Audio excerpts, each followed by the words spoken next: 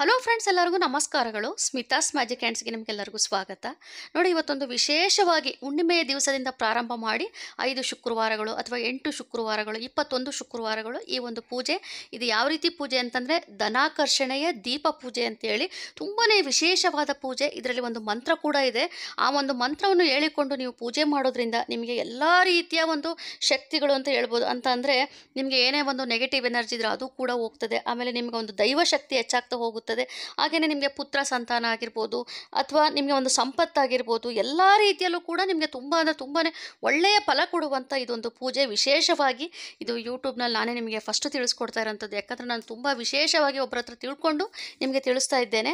ನೋಡಿ, ಈ ಪೂಜೆ ಮಾಡಬೇಕು ಅಂತಂದರೆ ನಮಗೆ ಒಂದು ದೀಪ ಬೇಕು. ಒಂದು ದೀಪ ಅಂತಂದರೆ ಐದು ಮುಖ ಇರುವಂಥ ದೀಪ ಬೇಕು. ಜೊತೆಯಲ್ಲಿ ಸ್ವಲ್ಪ ದೊಡ್ಡದಾಗಿರುವಂಥ ತೆಗೆದುಕೊಳ್ಳಿ. ಅಂದರೆ ಎಣ್ಣೆ ಸ್ವಲ್ಪ ಹೆಚ್ಚಿನ ಮಟ್ಟದಲ್ಲಿ ಇಡಿಸೋ ರೀತಿಯಲ್ಲಿ ಸ್ವಲ್ಪ ಎತ್ತರ ಇರುವಂಥ ದೀಪವನ್ನು ತೆಗೆದುಕೊಳ್ಳಿ. ಈಗ ನಾನು ತಿಳಿಸ್ಕೊಡ್ತಾ ಇದ್ದಿಲ್ಲ, ಇಷ್ಟರ ಮಟ್ಟಿಗಿದ್ರೆ ಸಾಕು, ಆದರೆ ಎಣ್ಣೆ ಮಾತ್ರ ಸ್ವಲ್ಪ ಹೆಚ್ಚಿನ ಮಟ್ಟದಲ್ಲಿ ಇರಬೇಕಾಗುತ್ತದೆ.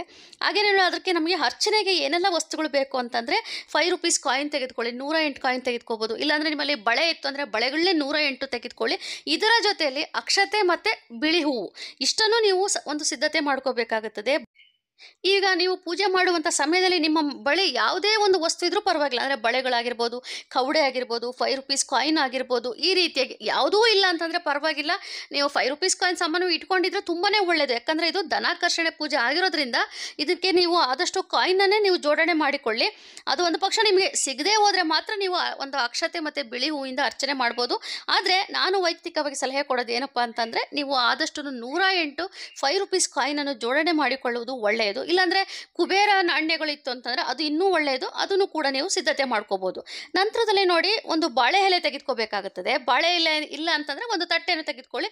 ಆದರೆ ಇದು ದೀಪ ದೀಪ ಪೂಜೆ ಆಗಿರೋದ್ರಿಂದ ವಿಶೇಷವಾಗಿರಲಿ ಅಂತೇಳಿ ನಾನೊಂದು ಬ್ಲೌಸ್ ಪೀಸಿಂದ ಒಂದು ಸೀರೆಯ ರೀತಿಯಲ್ಲಿ ಉಡಿಸಿ ಒಂದು ಸ್ವಲ್ಪ ಅಲಂಕಾರ ಮಾಡಿದ್ದೇನೆ. ಇವೆಲ್ಲವನ್ನು ಕೂಡ ಇದು ಆಪ್ಷನಲ್ ಇದು ಇದು ಹೀಗೆ ಮಾಡಬೇಕು, ಆ ರೀತಿ ಏನಿಲ್ಲ ಜಸ್ಟ್ ನಾವು ದೀಪ ಪೂಜೆ ಅಂದರೆ ದೀಪಕ್ಕೆ ಅರಿಶಿನ ಕುಂಕುಮವನ್ನು ಹಚ್ಚಿ ದೀಪಕ್ಕೆ ಎಣ್ಣೆ ಹಾಕಿ ಪೂಜೆ ಮಾಡುವಂಥದ್ದು. ಆದರೆ ನಾನು ಇದು ಲಕ್ಷ್ಮೀ ಪೂಜೆ ಆಗಿರೋದ್ರಿಂದ ಧನಾಕರ್ಷಣೆ ಪೂಜೆ ಆಗಿರೋದ್ರಿಂದ ನಾನು ಈ ರೀತಿಯಾಗಿ ಸ್ವಲ್ಪ ಒಂದು ವಿಭಿನ್ನವಾಗಿ ಮಾಡಿ ತಿಳಿಸ್ಕೊಡ್ತಾ ಇದ್ದೇನೆ. ಹಾಗೆಯೇ ಇದು ನಾವು ಮೊದಲು ಒಂದು ಅಷ್ಟದಳ ಪದ್ಮ ರಂಗೋಲೆ ಹಾಕೋಬೇಕು ಇದು ನಿಮಗೆ ಹಾಕಿರುವಂಥದ್ದು ತುಂಬ ಬಾರಿ ತಿಳಿಸ್ಕೊಟ್ಬಿಟ್ಟಿದ್ದೇನೆ. ಈ ಒಂದು ರಂಗೋಲಿಯನ್ನು ಹಾಕಿಕೊಂಡು ಅದರ ಮಧ್ಯದಲ್ಲಿ ನಾವು ಶ್ರೀಮ್ ಅಂತೇಳಿ ಅಮ್ಮನವರ ಒಂದು ಬೀಜಾಕ್ಷರ ಮಂತ್ರವನ್ನು ಬರಿಬೇಕಾಗುತ್ತದೆ. ಹಾಗೆ ಮತ್ತೊಂದು ಮಾಹಿತಿ, ಇದು ನಿಮ್ಮ ಮನೆ, ದೇವರ ಮನೆಯಲ್ಲಿ ಇದು ನಿಮಗೆ ಮಾಡೋದು ಕಷ್ಟ ಆಗುತ್ತೆ ಅನ್ನೋದಾದರೆ ನೀವು ಬೇರೆ ಒಂದು ಸ್ಥಳದಲ್ಲಿ, ಅಂದರೆ ಉತ್ತರ ದಿಕ್ಕಿನಲ್ಲಿ ಅಮ್ಮನವ್ರನ್ನ, ಅಂದರೆ ದೀಪವನ್ನು ನೀವು ಪ್ರತಿಷ್ಠಾಪನೆ ಮಾಡಿಕೊಂಡು ಪೂಜೆಯನ್ನು ಮಾಡ್ಕೋಬೇಕಾಗುತ್ತದೆ. ಇದನ್ನು ನೀವು ಎಲ್ಲಿ ಬೇಕಾದರೂ ಮಾಡ್ಬೋದು. ಎಲ್ಲಿ ಬೇಕಂದ್ರೆ ಆಗಲ್ಲ. ಒಂದು ದೇವರ ಮನೆ ಬಿಟ್ಟರೆ ನಿಮ್ಮ ಒಂದು ಲಿವಿಂಗ್ ರೂಮ್ ಆಗಿರ್ಬೋದು ಅಥವಾ ಒಂದು ಪ್ರತ್ಯೇಕವಾದ ಒಂದು ರೂಮ್ ಇತ್ತು ಅಂದರೆ ರೂಮ್ನಲ್ಲೂ ಕೂಡ ನೀವು ಈ ಒಂದು ಪೂಜೆಯನ್ನು ಮಾಡ್ಕೋಬೋದು. ಹಾಗೆ ಈ ಪೂಜೆ ಮಾಡುವಂಥ ಸಮಯದಲ್ಲಿ ನೀವು ಒಬ್ಬರೇ ಮಾಡಬೇಕು ಆ ರೀತಿ ಏನಿಲ್ಲ. ಬೇಕಾದರೆ ನೀವು ನಿಮ್ಮ ಕುಟುಂಬದವ್ರನ್ನ ಕರ್ಕೊಳ್ಳಿ ಅಥವಾ ನಿಮ್ಮ ಒಂದು ನೈಬರ್ಸ್ ಆಗಿರ್ಬೋದು ಎಲ್ಲರೂ ಸೇರಿ ಆ ಒಂದು ಮಂತ್ರವನ್ನು ಸ್ವಲ್ಪ ಜೋರು ಧ್ವನಿಯಲ್ಲಿ ಹೇಳ್ಕೊಂಡು ನೀವು ಈ ಒಂದು ದೀಪಕ್ಕೆ ಒಂದು ಅರ್ಚನೆ ಮಾಡೋದ್ರಿಂದ ನಿಮ್ಮ ಮನೆಗೆ ಒಂದು ಪಾಸಿಟಿವ್ ಎನರ್ಜಿ ಹೆಚ್ಚಾಗ್ತಾ ಹೋಗುತ್ತದೆ. ಯಾರೂ ಇಲ್ಲಾಂದರೆ ನೀವು ಒಬ್ಬರೇ ಮಾಡ್ಕೊಳ್ಳಿ. ಒಂದು ಪಕ್ಷದಲ್ಲಿ ನಿಮಗೆ ಎಲ್ಲರನ್ನೂ ಸೇರಿಸಿ ನಾವು ಮಾಡಬೇಕು ಅಂತ ನಿಮಗೆ ಇಷ್ಟ ಇತ್ತು ಅಂತಂದರೆ ನೀವು ಈ ರೀತಿಯಾಗಿ ಮಾಡ್ಕೋಬೋದು. ಹಾಗೆ ತಟ್ಟೆ ಒಳಗೆ ನಾನು ಅಕ್ಕಿಯನ್ನು ಹಾಕಿದ್ದೇನೆ. ಅಕ್ಕಿ ಕೂಡ ಆಪ್ಷನಲ್ ಅದು. ಯಾಕೆಂತಂದರೆ ಎಣ್ಣೆ ಸೋರ್ತಾ ಇರುತ್ತೆ ದೀಪದಿಂದ ಒಂದು ಪಕ್ಷದಲ್ಲಿ. ಹಾಗಾಗಿ ಅಕ್ಕಿ ಏನು ಬೇಡ. ನಾನು ನಿಮಗೆ ತಿಳಿಸ್ಕೊಡ್ತಾ ಇರೋದಂತ ಅಷ್ಟೇನೇ ಅಥವಾ ನೀವು ಅಕ್ಕಿಯನ್ನು ಹಾಕಿ ಅದರ ಮೇಲೆ ಒಂದು ಪ್ಲೇಟನ್ನು ಇಟ್ಟು ಪ್ಲೇಟಿನ ಮೇಲೆ ನೀವು ಒಂದು ದೀಪವನ್ನು ಪ್ರತಿಷ್ಠಾಪನೆ ಮಾಡಿಕೊಂಡು ಒಂದು ಪೂಜೆಯನ್ನು ಮಾಡ್ಕೋಬೋದು. ಹಾಗೆಯೇ ಎರಡು ವಿಳೆದೆಲೆ ಇಡೋದನ್ನು ಮರಿಬೇಡಿ. ತಟ್ಟೆಯ ಮೇಲೆ ಎರಡು ವಿಳೆದೆಲೆ ಇಡಿ. ಅದರ ಮೇಲೆ ಒಂದು ಸ್ವಸ್ತಿಕ್ ಚಿಹ್ನೆ ಬರೀರಿ. ಇಲ್ಲ ಅಂತಂದರೆ ಶ್ರೀಮ್ ಅಂತೇಳಿ ಅಮ್ಮನವರೊಂದು ಬೀಜಾಕ್ಷರ ಮಂತ್ರವನ್ನು ಬರೆದು, ಅದರ ಮೇಲೆ ನಾವು ದೀಪವನ್ನು ಪ್ರತಿಷ್ಠಾಪನೆ ಮಾಡ್ಕೋಬೇಕು. ಈ ದೀಪವನ್ನೇ ನೀವು ಲಕ್ಷ್ಮಿ ಅಂತ ಹೇಳಿ ನೀವು ಆಹ್ವಾನ ಮಾಡ್ಕೋಬೇಕಾಗುತ್ತದೆ. ಹಾಗೆಯೇ ನಿಮ್ಗೆ ಈಗಾಗಲೇ ಹೇಳಿದಾಗೆ ಐದು ಮುಖಗಳು ಇರುವಂಥ ದೀಪವನ್ನು ನೀವು ತೆಗೆದುಕೋಬೇಕು. ಹಾಗೆಯೇ ಎರಡು ಬತ್ತಿಯನ್ನು ಒಂದು ಬತ್ತಿಯನ್ನಾಗಿ ಮಾಡಿ ನೀವು ದೀಪಕ್ಕೆ ಬತ್ತಿಯನ್ನು ಹಾಕಬೇಕಾಗುತ್ತದೆ. ನೋಡಿ, ನಾನು ಹಾಕ್ತಾ ಇದ್ದೀನಲ್ಲ, ಇದಕ್ಕೆ ತುಪ್ಪವನ್ನು ಹಾಕಬೇಕು, ಆ ಥರ ಏನಿಲ್ಲ. ನೀವು ದೀಪಕ್ಕೆ ಹಾಕುವಂಥ ಎಣ್ಣೆಯ ಜೊತೆಯಲ್ಲಿ ಸ್ವಲ್ಪ ಮಟ್ಟಿಗೆ ಶ್ರೀಗಂಧದ ಎಣ್ಣೆಯನ್ನು ಕೂಡ ಮಿಕ್ಸ್ ಮಾಡ್ಕೊಳ್ಳಿ. ಶ್ರೀಗಂಧದ ಎಣ್ಣೆ ಇಲ್ಲ ಅಂತಂದರೆ ಸ್ವಲ್ಪ ಪಚ್ಚ ಕರ್ಪೂರವನ್ನು ಸ್ವಲ್ಪ ಮಟ್ಟಿಗೆ ಆ- ಒಂದು ಎಣ್ಣೆಯಲ್ಲಿ ಹಾಕಿಕೊಳ್ಳಿ. ಇಷ್ಟೇ ಸಾಕು. ಆಮೇಲೆ ಇನ್ನು ಪ್ರಸಾದ ಅಂತ ಬಂದಾಗ ಏನಾದರೂ ಒಂದು ವಿಶೇಷವಾಗಿ ಪ್ರಸಾದ ನೀವು ಮಾಡಲೇಬೇಕಾಗುತ್ತದೆ. ಈಗ ಹುಣ್ಣಿಮೆ ದಿವಸದಿಂದ ಪ್ರಾರಂಭ ಮಾಡಿ, ಮಂಗಳವಾರದಿಂದ ಪ್ರಾರಂಭ ಮಾಡಿ, ಇದನ್ನು ಸಂಜೆಯ ಸಮಯ ಮಾಡಿದರೆ ತುಂಬ ಒಳ್ಳೆಯದು. ನೀವು ಬೆಳಗ್ಗೆ ಮಾಡ್ತೀರಿ ಅಂದರೆ ಬೆಳಗ್ಗೆನೂ ಮಾಡ್ಕೋಬೋದು. ಇಲ್ಲಾಂದ್ರೆ ಸಂಜೆಯ ಸಮಯದಲ್ಲಿ ಆರು ಗಂಟೆ ನಂತರದಲ್ಲಿ ನೀವು ಎಲ್ಲರನ್ನೂ ಸೇರಿಕೊಂಡು ನೀವು ಈ ಒಂದು ಪೂಜೆ ಮಾಡುವುದು ತುಂಬ ವಿಶೇಷವಾಗಿರುತ್ತದೆ. ಹಾಗೆಯೇ ಇದನ್ನು ನೀವು ಈ ಹುಣ್ಣಿಮೆಯಿಂದ ಪ್ರಾರಂಭ ಮಾಡಿ, ಶುಕ್ರವಾರ, ಪ್ರತಿ ಶುಕ್ರವಾರ ಶುಕ್ರವಾರ ನಿಮಗೆ ಒಳ್ಳೆಯದಾಯಿತು ಅಂತಂದರೆ ನೀವು ಕಂಟಿನ್ಯೂ ಮಾಡ್ಕೊಂಡು ಹೋಗ್ಬೋದು. ಇಲ್ಲಾಂದರೆ ನೀವು ಮೊದಲು ಒಂದು ಇಷ್ಟು ಸಂಕಲ್ಪ ಮಾಡ್ಕೊಳ್ಳಿ. ಐದು ವಾರ ಮಾಡ್ತೀನಿ ಅಥವಾ ಎಂಟು ವಾರಗಳು ಮಾಡ್ತೀನಿ, ಇಪ್ಪತ್ತೊಂದು ವಾರಗಳು ಮಾಡ್ತೀನಿ ಅಂತ ಒಂದು ಸಂಕಲ್ಪ ಮಾಡಿಕೊಂಡು ಇದನ್ನು ಪ್ರಾರಂಭ ಮಾಡಿ ನಿಮಗೆ ಇದರಿಂದ ತುಂಬ ಒಂದು ಒಳ್ಳೆಯ ಫಲ ಸಿಕ್ತು ಅಂದರೆ ನೀವು ಇದನ್ನು ಮುಂದುವರಿಸ್ಕೊಂಡು ಸಹ ಹೋಗ್ಬೋದು. ನೋಡಿ, ನಾನು ಇಷ್ಟು ಸಿದ್ಧತೆ ಮಾಡ್ಕೊಂಡಿದ್ದೇನೆ. ಹಾಗೆ ತಾಂಬೂಲ ಅಂತೇಳಿ ಎಲೆ, ಅಡಿಕೆ, ಬಾಳೆಹಣ್ಣು ಒಂದು ದಕ್ಷಿಣೆ ಅಂತ ಇಡಬೇಕಾಗುತ್ತದೆ. ಹಾಗೆ ಇದು ಧನಾಕರ್ಷಣ ಪೂಜೆ ಆಗಿರೋದ್ರಿಂದ ನಿಮ್ಮ ಮನೆಯಲ್ಲಿರುವಂಥ ಜ್ಯುವೆಲರಿ ಏನಿರುತ್ತೋ ಅದು, ಒಂದು ಸರನೆ ಆಗಿರ್ಬೋದು ಅಥವಾ ಒಂದು ಬೆಳ್ಳಿ ಕಾಯಿನೇ ಆಗಿರ್ಬೋದು, ಅದನ್ನು ನೀವು ದೂ ಒಂದು ದೀಪದ ಮುಂದೆ ಇಟ್ಟು ನೀವು ಪ್ರಾರಂಭ ಮಾಡಬೇಕಾಗುತ್ತದೆ. ನೋಡಿ, ದೀಪಕ್ಕೆ ನಾನು ಎಣ್ಣೆ ಹಾಕಿ, ಹಾಗೆ ಆ ಎರಡೂ ಸೈಡಲ್ಲೂ ಎರಡು ದೀಪವನ್ನು ಹಚ್ಚಿಟ್ಟಿದ್ದೇನೆ. ಪ್ರಸಾದ ಅಂತ ಬಂದಾಗ ನಾನು ಇವತ್ತು ಪಂಚಕಜ್ಜಾಯ ಮತ್ತು ಹಾಲನ್ನು ಒಂದು ತಾಂಬೂಲವನ್ನು ಇಟ್ಟಿದ್ದೇನೆ.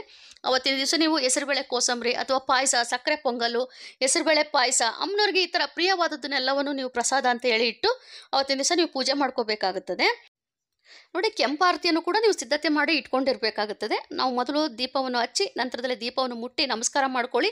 ಆ ನಂತರದಲ್ಲಿ ನಿಮ್ಮ ಒಂದು ಸಂಕಲ್ಪ ಏನಿದೆಯೋ ಅದನ್ನು ನಿಮ್ಮ ಒಂದು ಸಂಕಲ್ಪವನ್ನು ಕೇಳಿಕೊಂಡು ನೀವು ಅರ್ಚನೆಯನ್ನು ಪ್ರಾರಂಭ ಮಾಡಬೇಕಾಗುತ್ತದೆ. ನೋಡಿ, ಅರ್ಚನೆಯಲ್ಲಿ ಈ ಮಂತ್ರಗಳು ಈ ರೀತಿ ಇರುತ್ತೆ. ಇದು ಒಂದು ಸ್ವಲ್ಪ ಕಷ್ಟ ಇದೆ. ಇದನ್ನು ನೀವು ನೂರ ಎಂಟು ಬಾರಿ ಹೇಳ್ಕೋಬೇಕಾಗುತ್ತದೆ. ಈ ಮಂತ್ರವು ಒಂಬತ್ತು ಲೈನ್ಗಳು ಬರುತ್ತೆ. ಹಾಗೇನೆ ಸ್ಪಷ್ಟವಾಗಿ ಹೇಳಬೇಕು, ತಪ್ಪಾಗಿ ಉಚ್ಚಾರಣೆ ಮಾಡಬಾರ್ದು.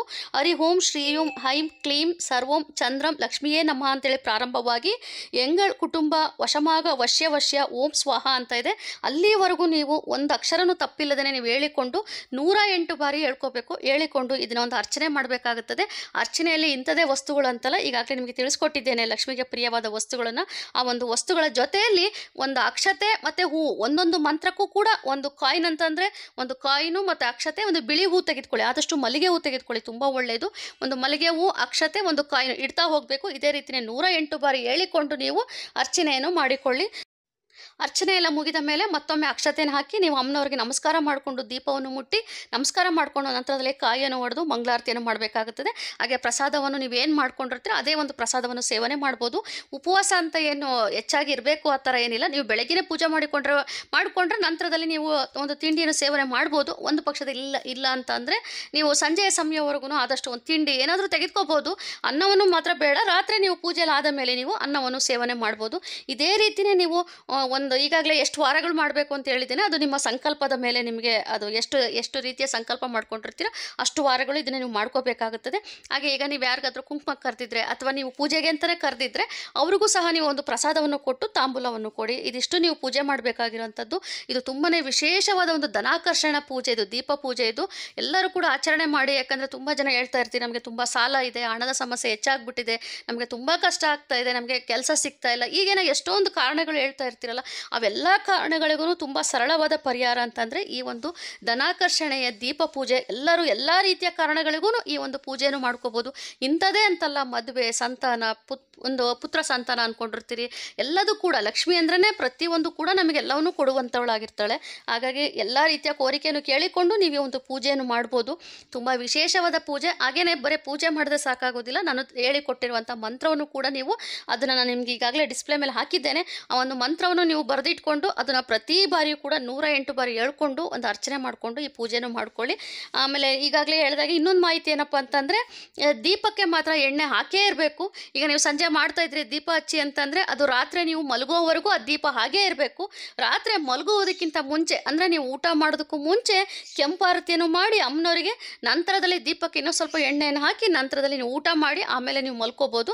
ಬೆಳಗ್ಗೆವರೆಗೂ ಇರಬೇಕು ಅಂತಲ್ಲ, ದೊಡ್ಡದಾದ ದೀಪ ತೆಗೆದುಕೊಂಡ್ರೆ ಬೆಳಗ್ಗೆವರೆಗೂ ಇದ್ದರೆ ಒಳ್ಳೆಯದು ಯಾಕಂದರೆ ನೀವು ಎದ್ದ ತಕ್ಷಣ ಹೋಗಿ ಆ ಒಂದು ದೀಪವನ್ನು ನೋಡಿ ನಮಸ್ಕಾರ ಮಾಡಿಕೊಂಡ್ರೆ ಇನ್ನೂ ಒಳ್ಳೆಯದು ಇಲ್ಲ ಅಂದರೆ ಪರವಾಗಿಲ್ಲ, ತೊಂದರೆ ಇಲ್ಲ.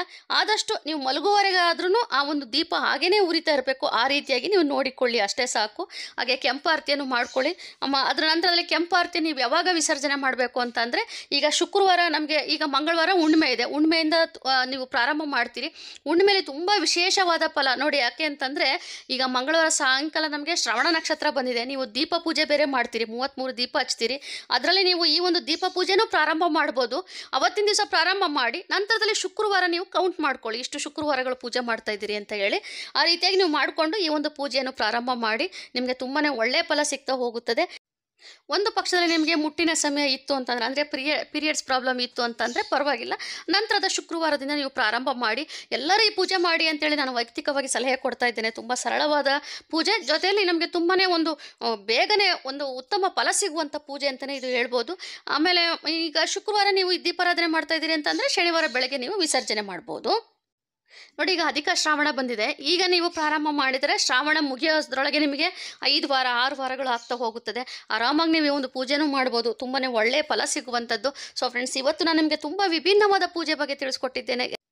ಈ ಪೂಜೆ ತುಂಬ ಜನಕ್ಕೆ ಗೊತ್ತಿರೋದಿಲ್ಲ. ಆದಷ್ಟು ಈ ವಿಡಿಯೋವನ್ನು ಶೇರ್ ಮಾಡಿ, ಎಲ್ಲರೂ ಕೂಡ ಒಳ್ಳೆಯದಾಗಲಿ ಸೊ ಇವತ್ತಿನ ಒಂದು ವಿಡಿಯೋ ದಯವಿಟ್ಟು ಆದಷ್ಟು ನನಗೆ ಲೈಕ್ ಮಾಡಿ, ಕಮೆಂಟ್ ಮಾಡಿ ಹಾಗೆಯೇ ಸಬ್ಸ್ಕ್ರೈಬ್ ಮಾಡ್ಕೊಳ್ಳಿ. Thank you.